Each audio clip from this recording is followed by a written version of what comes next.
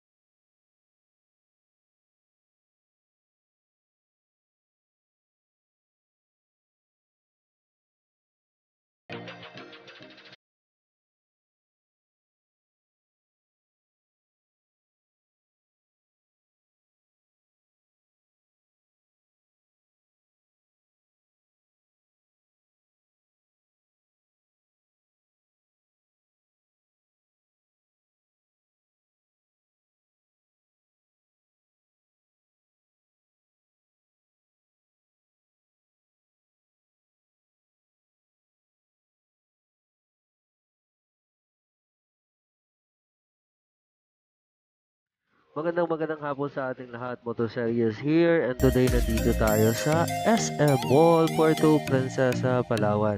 And as you can see guys, today is uh, Moto Expo in Puerto Princesa. This is actually first uh, na nangyari dito. And as you can see, iba-ibang klaseng motor ang nandito. This one is a classic bike. Uh, XY X100 ng TBS. Yan, sobrang ganda niya. At napaka-reasonable ang price. If you want to visit, punta lang kayo sa Welltech. Ayan, so Welltech ang mayroong uh, display ng ganyang klaseng bike. And as you can see guys, different kinds of bikes ang nandito.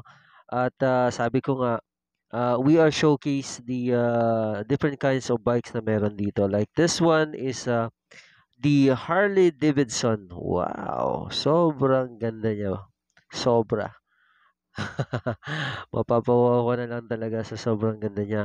So, basically itong uh, Moto Expo na to, sabi ko nga, ay nagpapakita ng kung gaano creative, gaano ka uh, malikhain ng kaisipan. This one is actually a Bajaj uh, 135 and it ginawa niya itong uh, scrambler type. Sobrang ganda ng pagkagawa, sobrang uh, neat, sobrang ganda ng uh, features niya. So, kung makikita natin, different kinds of bikes. Merong MT, uh, Yamaha, and then we have the Rusi type, yan o, yung mga build.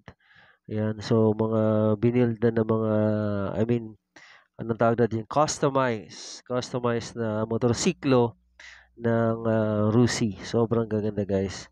And syempre, meron din tayo mga uh, big bikes. Yan. Ayan, shout out sir, shout out. Ayan, so marami na nagbibisita at uh, tumitingin sa mga bike. And this is actually a way para magkaroon ka ng idea. If you're looking for your dream bike, eh, dito pwede ka magtingin-tingin ano yung magugustuhan mong bike. So, Kawasaki, this is a Kawasaki naked bike. And then CBR, Honda CBR, ayan. So, this one, the red one, Yan, CBR. And then the Kawasaki 650. Ito, Kawasaki. And then, ito, ito yung ito. Yan, Kawasaki 650. And then this one is the Triumph. And then, yan, Kawasaki din yan. And then the R1. Yan. And then this one is, I think, Kawasaki. And the BMW. Yan. So, sobrang gaganda guys ng mga motorsiklo na naka uh, tag yan dito nakapag naka-display dito sa SM ngayon. And then we have also the Vespa. I believe this is a Vespa, an old model Vespa. So basically, it's not only the uh, the modern bike but also the featuring the classic bike, the retro bike, yan, the cab type or the hub type. And then syempre, yung mga ating mga mga tinatawag na modern bikes. Ayan, Sir Mai. Ayan, from the 100% yan. So, si Sir Mai ay isa sa honor na 100%. If you want to visit, yung kanyang uh, restaurant, visit at na. Ang address nila ay National Highway across uh, Robinson behind Petron Gas Station. Pwede kayong uh, mag-drop by to visit. Very reasonable at napakasarap ng mga pagkain nila doon, guys. So, ayan guys. So, abangan-abangan na lang natin ang mga susunod. It's a 3 days. 3 days na Expo at the Rob- uh, at the uh, SM SM Puerto Princesa. You uh, if you want you can visit and uh, probably you're looking for your dream bike. Pasyal na kayo guys at makikita nyo sobrang gaganda ng bikes. And you can actually visit them if you have the idea kung saan. Uh, KTM showroom is located at Barangay San Jose. Welltech uh, Puerto Princesa Leisure and Bike, pwede kayo mag-drop by dyan. And then, syempre, kung gusto niyo naman ng mga tinatawag na modern and uh, build bikes, pwede naman kayo na sa Island Garage, uh, visit them at Bangkao, Bangkao, Puerto Princesa City. Madali lang, uh, you can look for them or uh, uh, message them sa Facebook at uh, hopefully nabigyan ko kayo ng mga idea kung saan tayo pwedeng uh, tumingin ng bike natin. Na near future, gusto mo magkaroon ng bikes na mapapasayo talaga. Or pwede namang meron ka ng old bikes, gusto mong ma-retro, gusto mong ma-build siya. Sabi ko nga, you can drop by. Again, this is Moto Serie. Hanggang dito na lang guys. See you on the next travel natin, next adventure natin. Woohoo! Safe ride!